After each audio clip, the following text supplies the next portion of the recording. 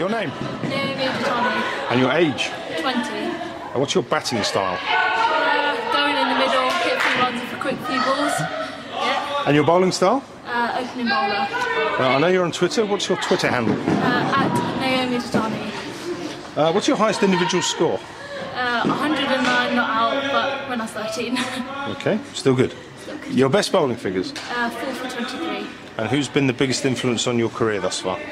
Um, Beth Morgan and those surrounding players like Ch- Charlotte Edwards I've had the pleasure of working with as well. Good. Uh, the most memorable match you've ever played in?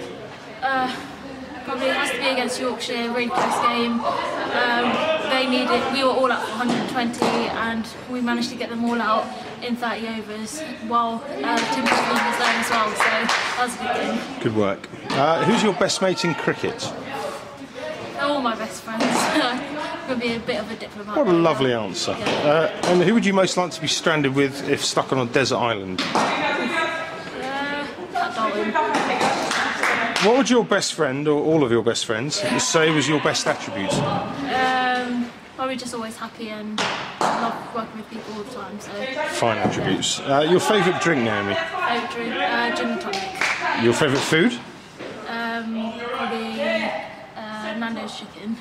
Uh, you've probably answered my next question. Your favourite restaurant?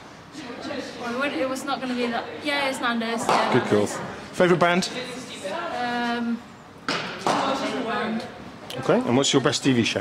Um, probably Suits. And finally, uh, what is your favourite animal? Uh, dolphins.